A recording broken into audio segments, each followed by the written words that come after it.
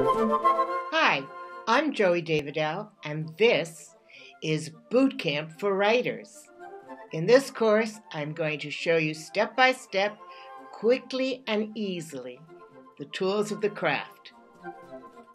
You can do anything you like with your writing, so long as you follow the one and only rule keep your reader interested.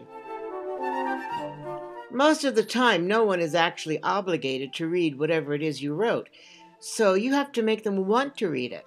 You have to keep them interested. It's wonderful to read a well written text. Think of the words we used to describe it. I really got lost in that story. I really got into it. I couldn't put it down. Why? Why? Why? Because reading is an interactive art form. You, the writer, provide a series of letters and symbols, and the reader provides the rest. We make movies in our heads while we're reading, if the writer has done his job. A reader sits with an open book, wildly hallucinating for hours. That's the power of the written word. But you need tools to make that happen, and once you master them, you can use them however you like to make the magic happen.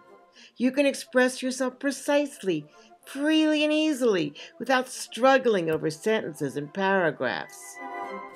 Writing is like any other art form in that the tools, the skills of the craft, will set you free to create in just the same way that a painter masters the tools of the brush, oils, and canvas this course will help you to master the tools of making words come alive. I'm eager to show you the tools of the craft, so let's get started. To learn more, sign up for the Creative Writing Bootcamp at Teachable.com.